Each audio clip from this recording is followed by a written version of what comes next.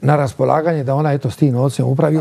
Ali samo malo, to je samo 10% centralnoj vladi ostaje za upraviti. A 90% se, aj može biti 80, ali 90%. E sad, država centralna vraća od tog novca i u Split. Bolnica državu košta Splitska bolnica 70 milijuna kuna. Sve škole e, financira država. Svu policiju financira država. Svu vojsku. Znači, taj novac, gospođo Pusićka, treba treba samo iz Zagreba i centralne države vraća i u Split, i u Imotski, i u Varaždin, i u Istru. A zašto bi ju financirala država? Pa zašto bi škole, vaše u Splitu, Evo, zato što je bilo... novac išao u Zagreb, pa se vraća u Split? Zato što mi u Splitu nemamo, možda mi u Splitu imamo, jer smo se već malo, ajmo reći, oporavili. U 90 godini ili 91. Split, ni, ni ovi drugi nisu imali šanse da prežive kao zdravstveno osiguranje stanovnici bez pomoći Zagreba.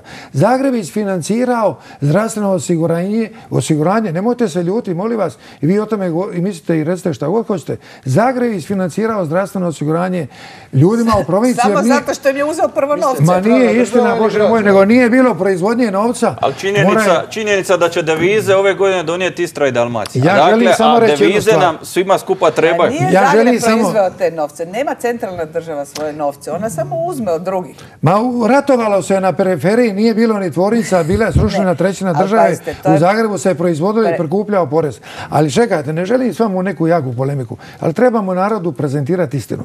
Znači država taj novac vraća dole. E sad, ajmo naći bolji model da mi, ok, u Splitu nama, mi smo dovoljni sami sebe za ško, financira školstvo. Ali treba postaviti pitanje, je li općina Vojnić sama sebi u stanju financira školstvo?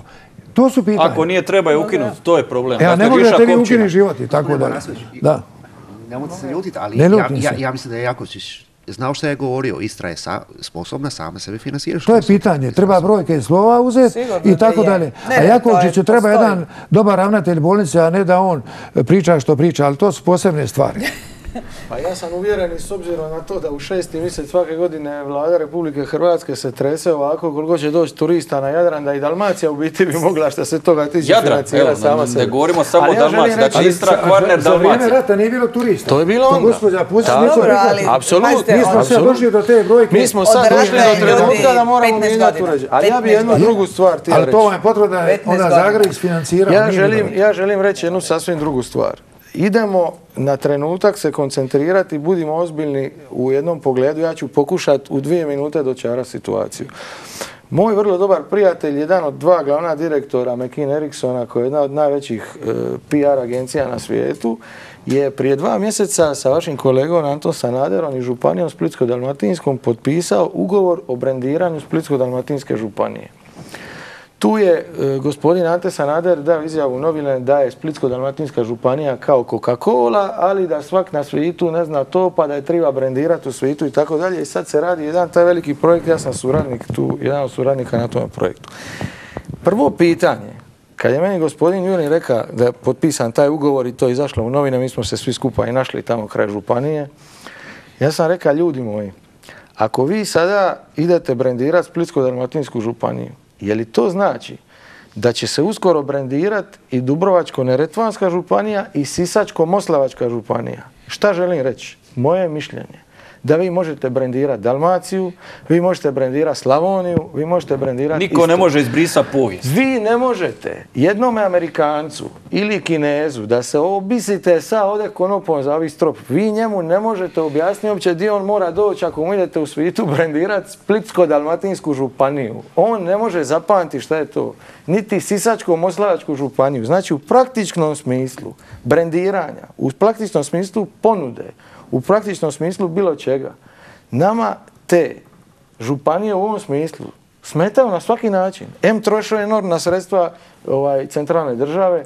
M A obična su... transmisija, dakle, političke volje Tako je. do najniže lokalne jedinice. Možda su one, što govori gospodin Marasović, 92. 3. 4. bile, bile potrebne. bilo je ratno stanje, trebalo se državu kompaktnu napraviti da se ne dogodi bilo kakve e, protuberance tu neke na bilo koji način. Ja mislim da je danas došlo vrijeme kad mi možemo bez ikakve e, straha da će neko reći da sad neko ko zastupa svoju regiju ili područje gdje on živi biti optužen za bilo kakvu autonomaštvo, separaciju ili nešto tako. Mi, mislim, u današnje vrijeme sa ove neke praktične strane moramo shvatiti da mi imamo u Hrvatskoj nekoliko povijesnih brendova od kojih zvoni zrak i zvoni kad se kaže Istra, Slavonija, Dalmacija, njihovi proizvodi, njihovi ljudi. To je sve niko, nikome ovaj, predstavlja Dalmaciju i brend Dalmacije Istre. Kod, kod, kod. Ali ja želim još jednu stvar što mi uporno zaboravljamo. Ja moram predložio stvar. I općine, i županije. One su kad su postavljene baš bili, bile decentralizacija. Vi znate što je u Splitu ne, formalno pravno djeluje da, da je zemlja rascijepkana zaista... U Splitu je bio gladac, a u Solinu jadac. A u Dugopolju ne jadac, nego ništa. A vidite sad, Sinjska krajina, Imotska, to je okupano u moru svjetlosti, kao da je New York. Ta decentralizacija u smislu... Riješeni su zaista neki lokalni e, problemi od infrastrukture Ako je to potrošeno, gospođo Pusi, vi se malo posmijekujete. Ne, Na to, nemojte se tome posmijekivati, ste živjeli čitavi svoj život u Zagrebu. Da ste živjeli u zadnjem selu gdje nije bilo ne rasvjete i tako dalje. Zato bi bilo bolje možda da se vi zalažete za decentralizaciju, a ne ja, a vi se zalažete za centralizaciju, a ja se zalažem za decentralizaciju. Profesor Klarić, čekate dugo riječ, izvolite. Pa ja bih ovdje želio napomenuti da moramo praktički e, razdvojiti dvije razine. Jedna je razina priča vezana za regionalnu samoupravu, jer tu je jedna skupina problema E, i e, tu treba pristupiti na jedan način, a drugo je u biti lokalna samouprava, znači ovaj prvi stupanj lokalne samouprave, općine i gradovi. Što se tiče općina i gradova, najveći problem tih općina i gradova je kapacitet njihovog javnog upravljanja. To je temeljni problem općina i gradova, a najveći problem je što praktički e, je sustav posložen tako da praktički u nekoj najmanjoj općini koja ima 2000 stanovnika i proračunom milijun kuna imate načelnika na proračunu, tajnicu njegovu na proračunu još 5-6 7 djelatnika na proračunu. Njemačka također